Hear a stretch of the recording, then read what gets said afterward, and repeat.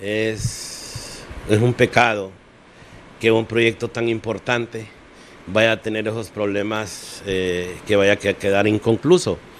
Eh, se comprometió él porque no le han hecho pagos de estimaciones por inoperancia del Ministerio de la Secretaría de Infraestructura y Transporte. También eh, hay un problema de negociación con las familias CONA que el director, el supervisor del proyecto no ha hecho no se ha hecho ningún ninguna negociación que haya terminado con las familias CONA.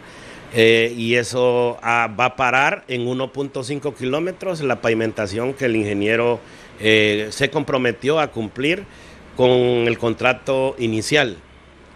Eh, o sea que va a quedar 1.5 kilómetros sin hacer, un puente de desnivel sin hacer y 500 metros de pavimento sin hacer por falta de pago y por falta de negociación y eh, es una lástima de que esto se dé. Eh, la empresa Eterna dice que va a cumplir con, su, con sus, los 500 millones eh, iniciales.